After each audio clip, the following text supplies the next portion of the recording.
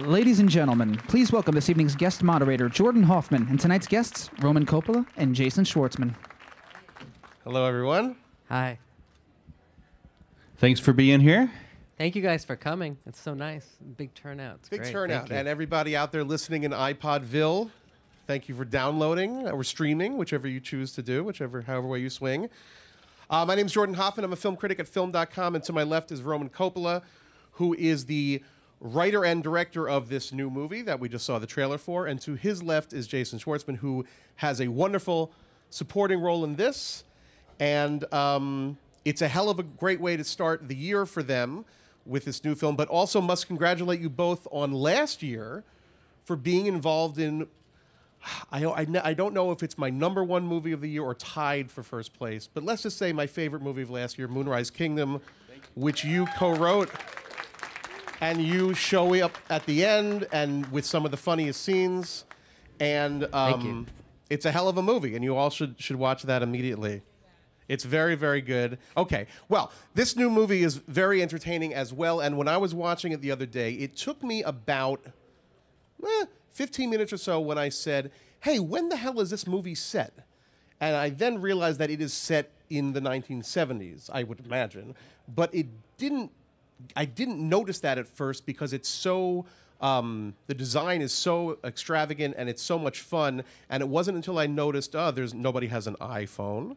And in, it wasn't the hospital scene when I realized that the stuff. So, can we talk a little bit about, um, before we get into the psychological stuff about the movie, just about the the production design and the um, level of exuberance that is in, in this film. Thank you. Uh, yeah, you know, in the past, I was kind of cagey about speaking to what time it's set in. I'd say, well, it's we're not sure, it's not important.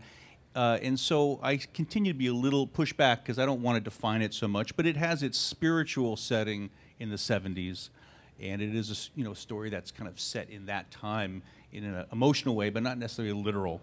Because I didn't want it to feel like a period piece. It's not about that. But you know, there are a lot of movies dur- made during the 70s that were inspiring to me, and and so the very beginnings of the the imagery of the movie were kind of steeped in that time. And there's a very famous ad for Maxell tape where there's the guy sitting in a Corbusier chair.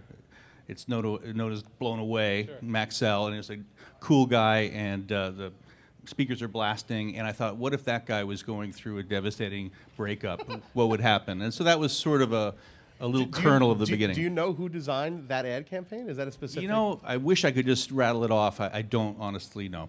Okay.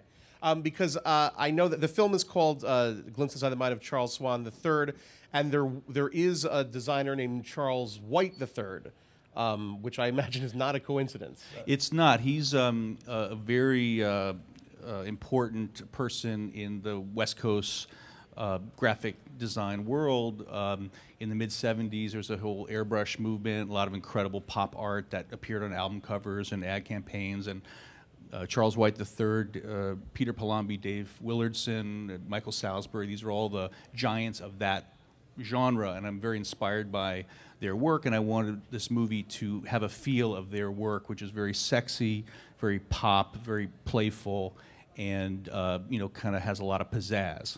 The, the thing that struck me was uh, it- it's set. The main character, played by uh, Charlie Sheen, is a um, graphic designer going through a life crisis, um, sort of a very '70s life crisis, in that he's got too many women, women troubles as they had back then. So I'm told. And um, the the film takes a, a lot of stretches into imagination in sort of an eight and a half or a Billy Liar sort of way. And um, his best friend, played by Mr. Schwartzman, uh, factors into that uh, quite a bit. His best friend is, at first, you think that he's, at first, I thought you were like a rock star, but you're actually a comedian. But in the 70s, comedians were like rock stars in a way. So, can you talk a little bit about, about preparing uh, for that? Yeah, well, um, yeah, my character's name is Kirby Starr, and I am a stand-up. But um, like you say, I do think that he's like just a larger-than-life, probably very successful star. Maybe, you know, has has many comedy records, goes on tour, probably is in a movie or two, um, and you know, he's also probably, you know, a social social butterfly, um, and. Um, it was wonderful preparing for it. You know, first you have to start growing your beard, um, which Roman asked if I would do, and anything for Roman. Um, except I didn't want to. I, I, I well, there was discussion about perming my hair, but it seemed uh, like it wasn't going to work. Um, I have very straight hair, and it seemed like it would be almost actually be impossible to perm it, and then it would, and we'd end up with something a bit more like 18th century composer or something.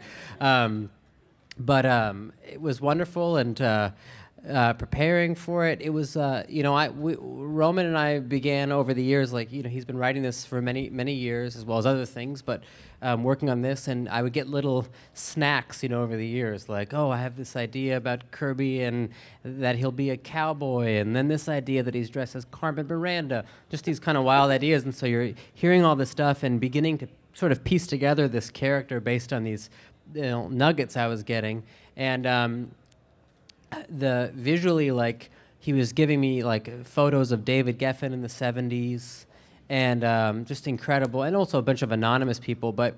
Uh, a lot of the also um, feeling of the character came from a, a wonderful documentary um, that I saw. I, am not sure if it's called America Boy or America's Boy, but it's um, by Martin Scorsese. It's, a, it's American Boy. Steven Well, Prince, yeah.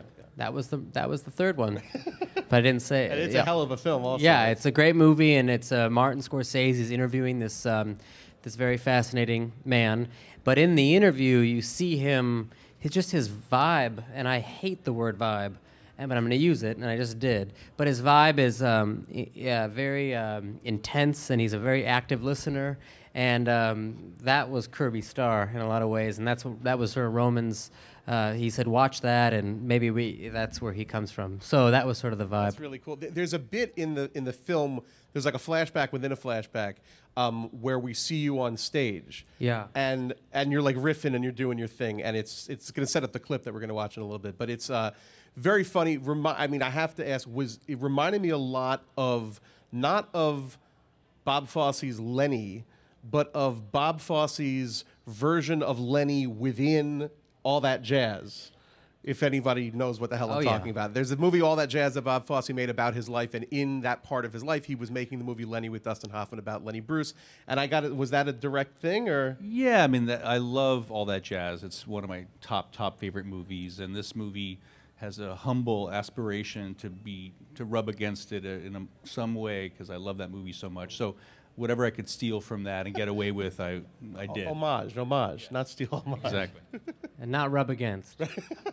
just stand next to. it. Yeah. Okay. Sit- Proudly. just, yeah, stand Proudly. next to it and have yeah, yeah, have a nice conversation. So, um, in part, so Charlie Sheen's character is going through a life crisis. He's in the hospital. He's schmoozing with his friend. They're talking about his new comedy record, and this leads in a sort of a synaptic burst way to this fantasy sequence, which we're about to see, which is the scene all about.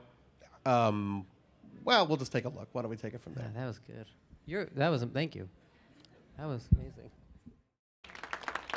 Um, I gotta say, I don't know if you could hear in that scene, but uh, Bill Murray like uh, gives me some bullets. He says, "Who wants popcorn?"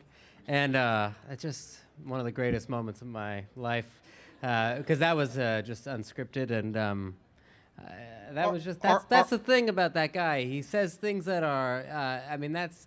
And then later, I was like, on the way home, I was like, "Is popcorn a phrase for bullets that I've never heard?" like, I was like going way into it, like totally like spiraling into the meaning of popcorn. But it's just like the greatest thing in the world. And every time I see, it, it says, "Who wants popcorn?" Uh, just makes me makes me so happy. So you're not sick of Bill Murray because you've worked with him about four hundred thousand times by now, I think. Correct? I'm not. Uh, I could never. I, could never be sick of um, Bill Murray. He's the greatest, and uh, I'm. I can't even. You know. I'm just honored that I've even gotten to work with him once, and you know, rub up against him. well, let's let's talk about this because he's he's a supporting role. Um, he plays uh, Charlie Sheen's business manager. He's a, comes in for a couple of key, very funny scenes. So obviously he wasn't on set every day. Um, is a special vibe when he shows up? I mean, not to kiss his ass too much. He's not in the room. So, but you know, he shows up that day. How is that different? Tuesday is no Bill Murray. Wednesday is Bill Murray. How is that day different? Well, it's you know he has such a vitality, and you know he's so iconic, and when he comes on the set, uh, you just feel it. He's uh, he just has a, such an epic personality and sense of playfulness, and uh, it was just a thrill. I mean, to see him in the costumes, it just, you know, as a writer, you daydream and fantasize, like, wow, if I could get him to do it, it'd be so great. And then he's really there wearing the outfit. Uh, it's, uh, it's a wonderful feeling. And um, uh, his physicality, his uh, stature, he's a big man, and he walks in a room, it's just like, whoa, you know, there, there he is, and it's, it's always uh, it's a thrill. And every time they yell action, and by they, I mean Roman. Uh, I don't know why I said they, but every time they yell action, uh, it's always uh, exciting. You don't ever know what's going to happen, and he's uh, he's one of the greatest in the world. He he does a funny bit of business in this movie where he's on a hospital bed and for whatever reason he's like leans over and starts talking to the pillow.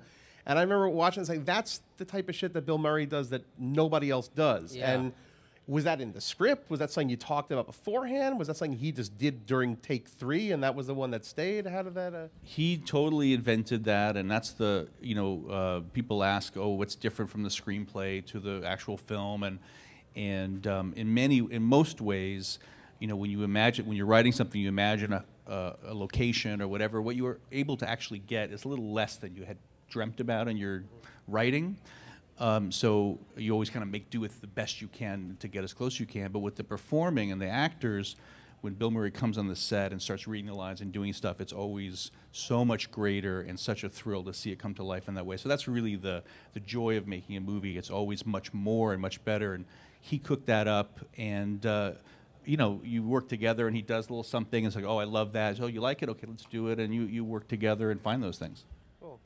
Well, we're talking about the cast here, and obviously the, the, the spine of the film is Charlie Sheen. And uh, even for those of us who never pick up a copy of People magazine, we know that last year was a difficult year for Charlie Sheen. He had a his non-film life got out there, and everybody knew what was going on. And this was the year you decided to make a movie about a guy who's having a mental breakdown and has. Uh, uh, uh, certainly something that could not have gone unnoticed on set. There's one scene in particular which is hilarious where he goes on like a binge drinking maniacal night that also includes just chugging a, a, a bucket of beluga caviar, which is one of the funniest things you'll you'll see him in the backseat with beluga caviar. Very funny. So obviously, this is all something that you're going to be talking about. You know that you're addressing this head on. But what was that like?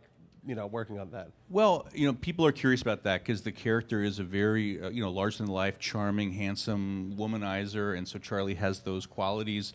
And you know, it's always great when a an actor embodies a role and brings so much of themselves to it. So in many ways, uh, Charlie really embodies the role. In many ways, the character is quite different. Um, and um, you know we're inventing something together. So it really isn't a portrayal of Charlie by any means, but he sure was a great guy to play the role. And just a little, you know, people are sort of curious. I, I knew Charlie as a kid uh, during Apocalypse Now. We were boys together, and we were, you know, pals at 12 years old, and would hang out on the set. And and um, when you have a friendship with someone when you're 12 years old, even if you never don't see him for 10, 15, 20 years at a stretch, you have that connection. And then we had that.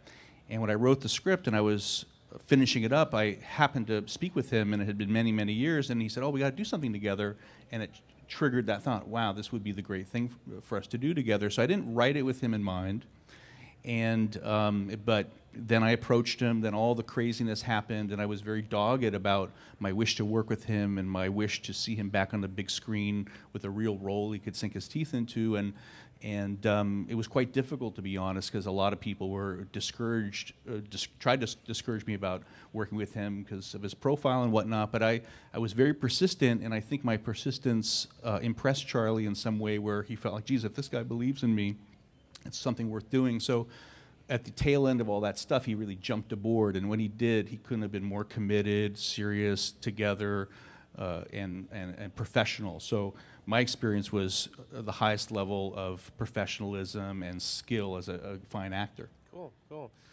I gotta ask, you're four, 12, you said 12 years old, 14 years old, hanging out in the Philippines on the set of, what was, do you have any memories of the two of you guys hanging out playing kickball in the middle while your parents are making, With heads. no, I do. I mean, it's it's so extraordinary looking back, but when you're a kid, it's very uh, normal. We did one of my hobbies was uh, theatrical makeup, so I would do scars and bullet wounds, and uh, that was something I in- introduced him to. And you know, it's an unusual uh, life, I remember, you know, asking my mom if I could stay home from school so I could watch the napalm explosion and stuff. So, uh, you know, those it's just an odd way to grow up, but fun memories. Ain't that the truth?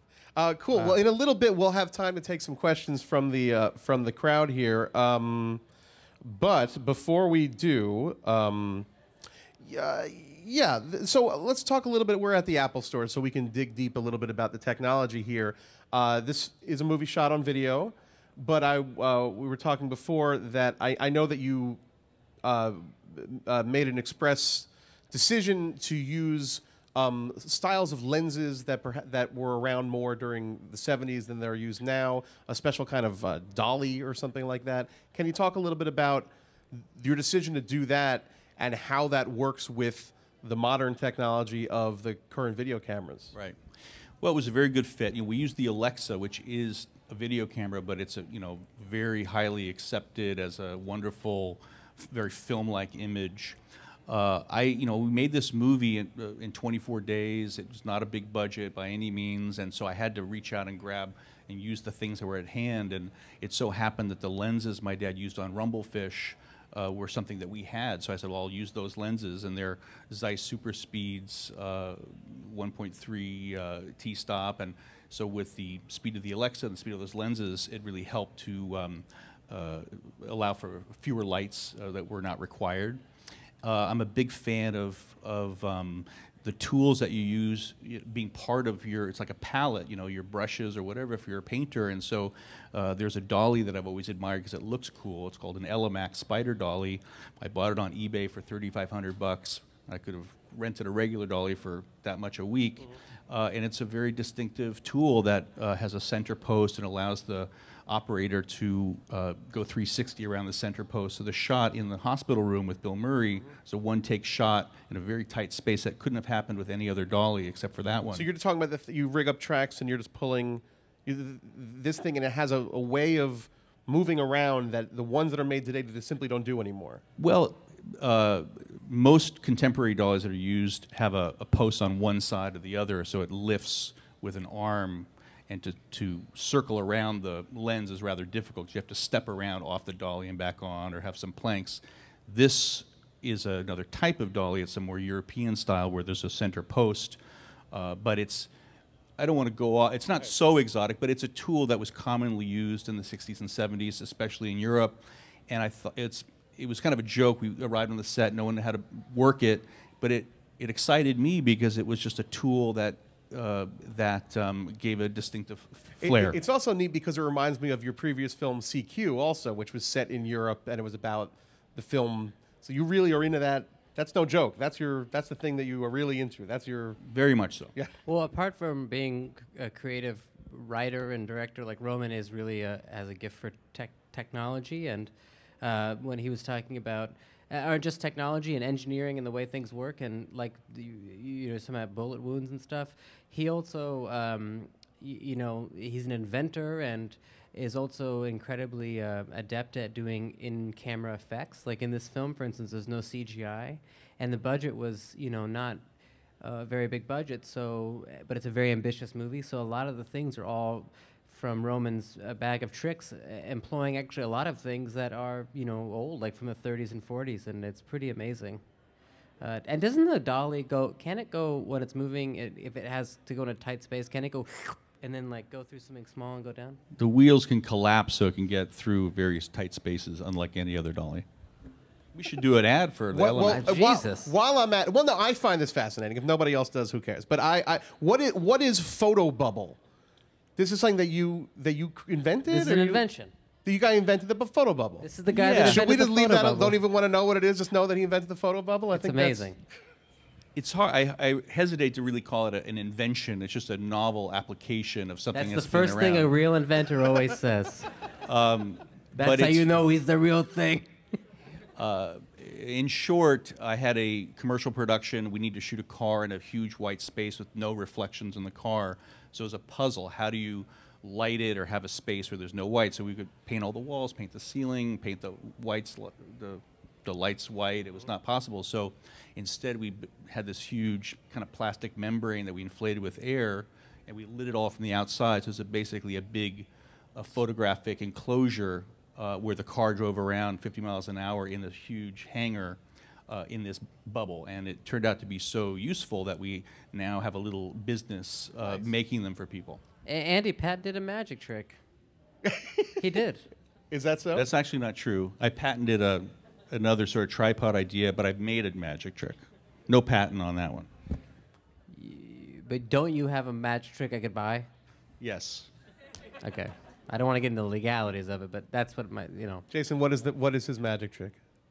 He's Te- too tell shy. him, to- Roman. Yeah. It's called Ghost Card. It's called Ghost just Uh, a, a novelty. Uh, it was just a, you know, it's nothing so spectacular, but, it's a magic trick it's that occurred did to me, that. and I fabricated a bunch of them, and we, you know, sold them online. My point is that Roman can do everything, and he's an incredible man. And Well, it is interesting, and you know we were going to get to the other clip, but I was going to bring this up. So you, I mentioned the film CQ, and if you haven't seen it, the minute you leave, go home and, and rent CQ. It's fabulous. It came out in 2001, and you have not directed a film since. Now, clearly, you aren't just sitting home twiddling your thumbs. You're inventing photo bubbles and co-writing scripts with Wes Anderson and um, making um, TV commercials and whatnot.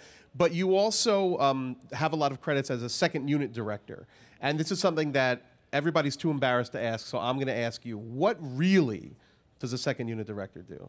Uh, it's nothing to be embarrassed about. It's basically a, a helper to the director. A lot of times you um, have all, you know, you have a big production, all these resources, and you need an additional shot. Uh, often, what defines a second unit director is a shot that doesn't include a star actor. So it's often a lesser supporting actor or a, a double that's replacing the actor. Some directors have a more broader view of it, and when I, when I worked with my dad on Bram Stoker's Dracula, I in fact shot uh, with all the lead actors, so he was more expansive. But it's basically uh, an ally to the director to help get additional pieces of film uh, because it's so expensive and time is so precious that sometimes to have another group off to the side getting a close up or some other little extra piece is very invaluable. Did you have a second unit director on this film? say no. Um, If the answer is no, say no. The answer is no, but I just am trying to think if there was some shot that I might have asked someone to help get help with, but uh, I, there was not. We were we had to move very quickly, and uh, uh, I got there was you. not. Cool. Okay. Well, listen. Let's take a look then, and then we'll get to some questions from the uh, from the audience. But this is a scene that comes. It's funny when you think about this movie. A lot of it is fractured in sort of an Annie Hall eight and a half kind of way. So I don't even know where this is chronologically, but it is another moment where Charlie Sheen's character and Jason's character are talking about the problems in their lives, and they have a fantasy sequence that goes to this bit of weirdness here. Well, there you go. Th- There's also a toucan in this movie. There is. I happen to love toucans. So when he me- he mentions a toucan, and then you go, "Oh, am I, am I going to see a toucan?" And then Charlie Sheen's playing with a toucan. How? Why? The, you could have been a macaw. Why was it a toucan?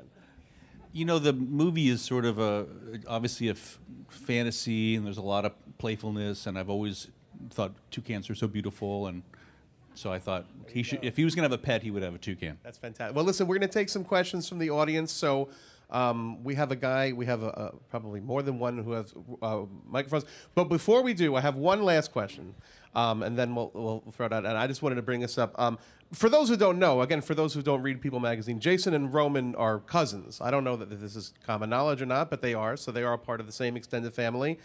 And uh, the Coppola family tree has got not only just actors and directors and scholars and doctors, um, but also one of my somebody who means a lot to me personally, and probably a lot to anybody from the New York area who grew up listening to classic rock.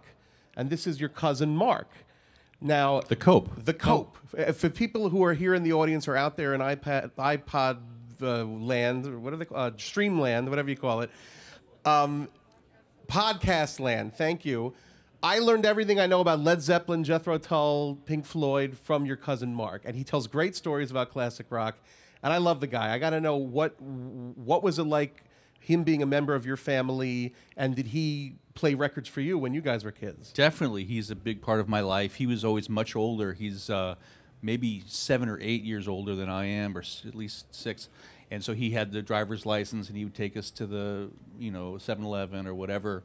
Um, but he's been a wonderful influence. He um, would play rock and roll. He gave me all sorts of records as a kid. We played Monopoly. He's a big part of our family life. You're you're in a band Well, too. I was gonna say, so, well, yeah. I remember when I was uh, young, I came, I was in New York with my mom, and uh, he called the hotel or something, and we were talking, and uh, uh, he said, "Do you do you want to be on the radio?"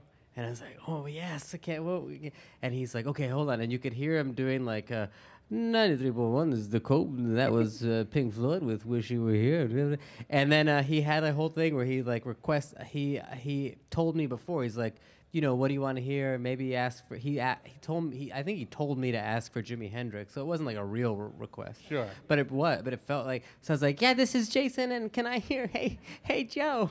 and uh, and it was. Uh, and I was on the radio at like age nine. It was uh, such a thrill. That's fantastic. It was the coolest. I mean, I was like, he is the coolest man. The Cope has been doing classic rock for a zillion years. I mean, and if you get in a cab later, you're going to hear the Cope uh, with Jimi Hendrix, Hey Joe. I mean, it's amazing. Yeah. He's a, a legend in New York, He and is. uh, and the cool. I know your family is very cool. His, his voice appears in the movie. oh, really? He's an announcer at the Best Bullshit Awards. Uh, it's just a Oh, little cameo. I was gonna say you got a cool family. He's actually the coolest guy in your family. He is. uh, he also uh, has iguanas, pet iguanas. I don't know if he still does, but he did. And I remember as a little kid too, just being like, "This, who are you?" You know, I grew up in L.A. He's New York, so we come visit him, and I have this cousin who's older, who's got these iguanas and Fender Stratocaster, and just like, he's a rebel. He's a wild man. I love that guy. That's awesome. Okay, so let's uh, kick it out to the audience. Hi. Hi. Um, I just wanted to ask because you both have dealt in movies with gender roles. So I'm curious the influence of gender roles in this movie as Charlie Sheen's character is asked, Oh, are you a man? What is the importance of the feminine versus the masculine in your movies? Um, the this is a, a story of a, a breakup. Uh, it's a character study of uh, Charlie's character, and he's trying to uh, uh, come to terms with this breakup. So it's a uh, relationship movie told from a very distinctive point of view of this particular guy who's quite um, immature. So um, it's it's re- seen rather very much from a, a guy's point of view, um, but hopefully, and I've shown the film, and, and women have said, "Oh, I really related to it," and I said, "Oh, wow, that's wonderful to hear," because you, I don't want to be exclusive of any other experience, but I thought so often uh, relationship movies are told from a, a woman's point of view, or that's the, the sense that you have out there, and this is a very much uh, from a, a immature male's point of view. For Jason, how did you develop the voice for Ash Fox and Fantastic Mr. Fox? I will tell you that um, when um, when Wes first approached me about being in the movie, um, the character of Ash wasn't as big of a role, and um, and uh, we we were promoting Darjeeling Limited, in fact, and um, he, we weren't sure when uh, he was going to have time to record uh, the voice, and um, we got a studio in, London. He got a studio, and I started going and uh, doing the voice. And at first, I was trying to talk in a more high-pitched voice because my character is very little. And then it just sort of seemed like, what? Well, well, I mean, who's to say that a stop motion fox can't just talk like this?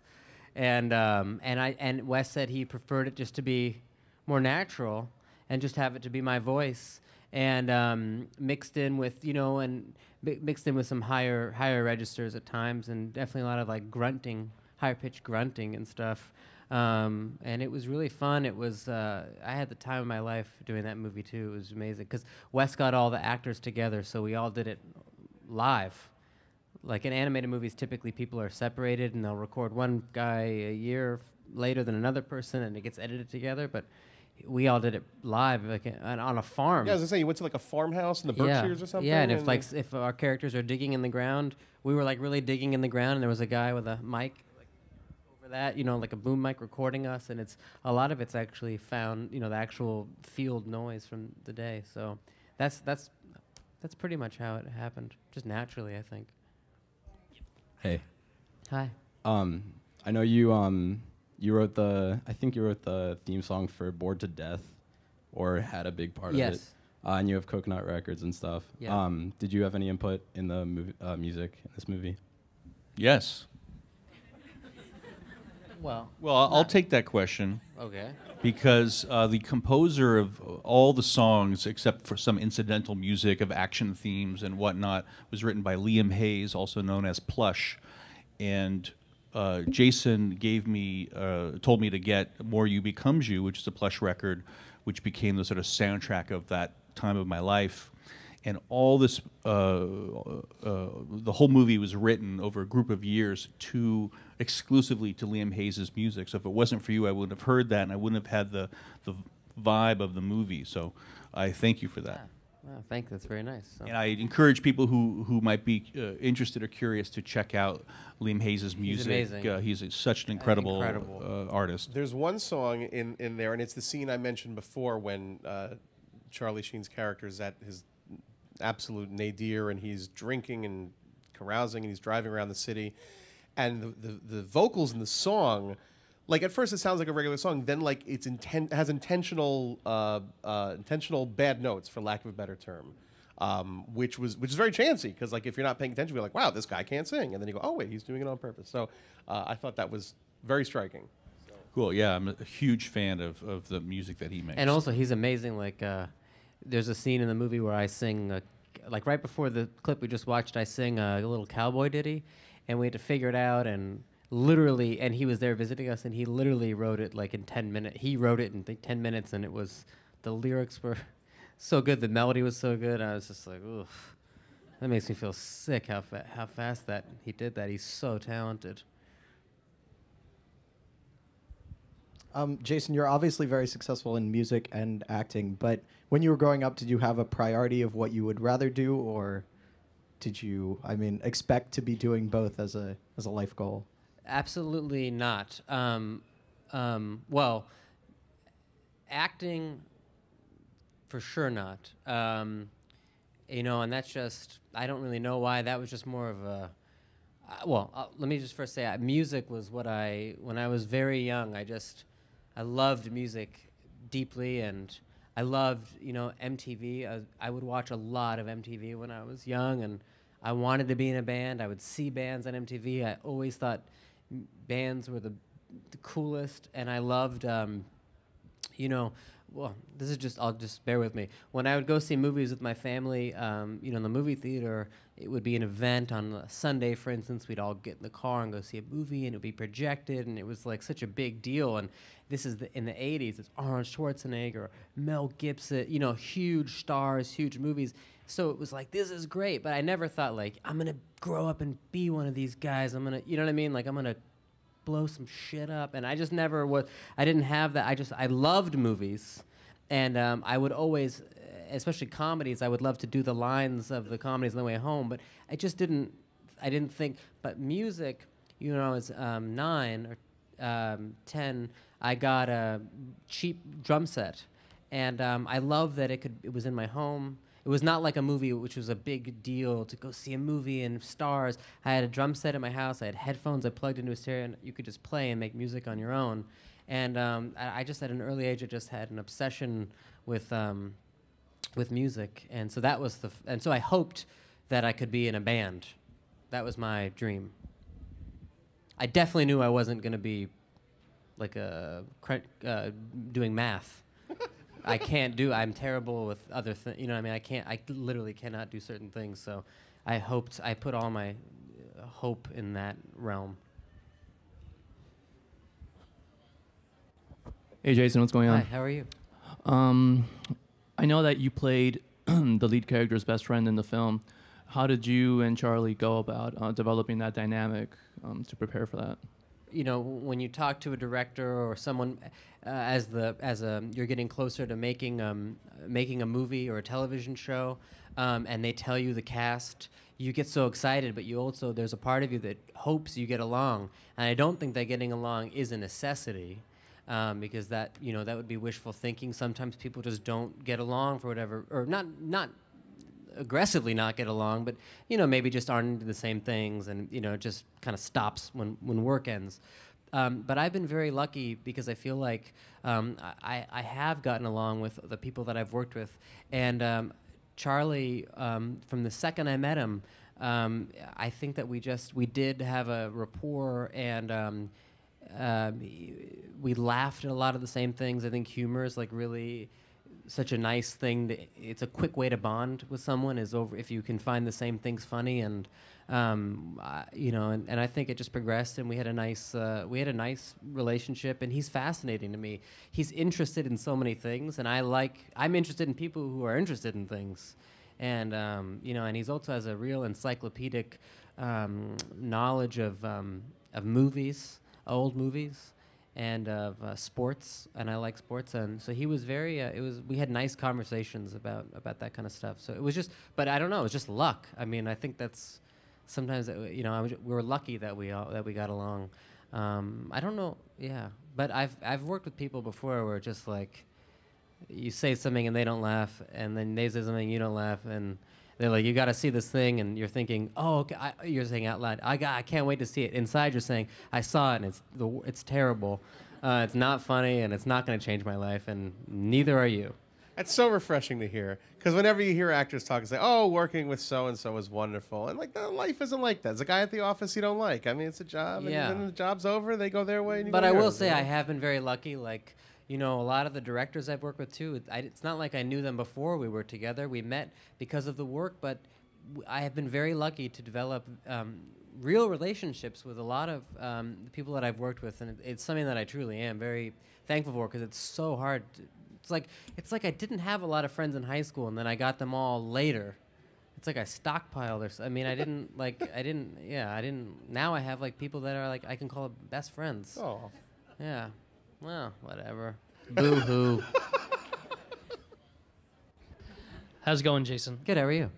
Uh, what was it like working with Phantom Planet? Because I'm a big fan of them. Thank you. Yeah. It was, Oh, it was the it was great. Um, that was a band that I was in. Roman actually recorded uh, our first demo on a four track at my uh, mom's house in 1993, uh, I believe, and um, for also the first time I saw someone have chewing tobacco. Mark Fay did chewing had chewing tobacco with spit and something. It was I didn't know what that was. Um, it was so, I'm used to seeing stuff come out of the soda can into someone's mouth. I'm not. What is he? Why is he spitting it back? How is, is he regurgitating it in pieces? It was very weird. Um, that's a disgusting side note.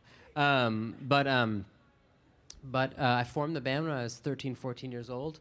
And um, again, I mean, if you dreamt of being like in a band from the time you were really little, to finally get in a band, get songs together, play live, it was, uh, it was, you know, it, dr- it truly was like a dream come true. And then to go on tour and uh, make records, it was, it was incredible. Absolutely, it was totally a dream come true. And then it ended. and like all dreams, you wake up. I think this is the last question, so it's got to just kidding. be. It was the best. Really good question. So if you're hesitant about your question and don't think it's going to pass muster, self censor because it's got to be really good. Whoa. Who's got that question? Who's got the confidence? Who's got it? this guy? Oh, yeah. He's got it. All right. Sure, no He can pressure. do it. No pressure, right? so, question for Roman. Um, you're a graduate of NYU, right? Uh, pretty. I didn't graduate, but I attended. You went to NYU. years, yeah. Okay, prestigious. Well, that. It's a thought set- that counts, though, Yeah, right? You went. It's good. But you it went. sets up the question of, um, you know, from your perspective as a director, maybe even more so as a guy who runs a production company and looks at emerging talent. Do you think that um, the value proposition is still there today for like an expensive, prestigious film school degree? Or with the costs of equipment coming down and crowdfunding, do you think it's better for those kids to, uh, you know, pass up those student loans and just start shooting and start like, you know, making movies? I would advocate the more. That's a making the good. That was a great question. Version. That is a great question. um, you know, everyone has their uh, what works for them. So I would hate to give some advice to because every system can work. But uh, the best part about NYU was Sight and Sound, where they give you a roll of film and a little ARRI-S, and you go out and make a movie very quickly. And of course, now there's new tools. Uh, but I think uh, just you know, if you have a passion to make movies and tell stories, to jump in there and do it at whatever level with whatever tools is t- the name of the game. And I don't think a degree uh, accounts for a whole lot, except to you as a person and developing yourself. But in terms of uh, entree, it's not meaningful. But to make interesting work is. Snap. Very good. Well, listen, thanks very much for coming. Thank and you I guys say, so can I say much. one thing? Yes. no. I want to say I want to say thanks to our hosts here. It's very cool that Mac supports this. We didn't talk about it, but a lot of the effects that I did and the editing was all done on Mac Gear, and the iPad has become a great production tool. So, uh, thumbs up to Mac. And today, this film is released on iTunes. So, if you're Yeah. curious about it, you can go home and check it out, and uh, hopefully, people will enjoy the picture. And then there will be a theatrical release in Feb- cities on February Eighth. February 8th at a theater near you. But if you just can't wait till February 8th, um, you can watch it on VOD right now. All right. Thanks for coming. Thanks so Thank much. you guys so much. It was awesome. Thank you again. Thank you to That our was the best. guests.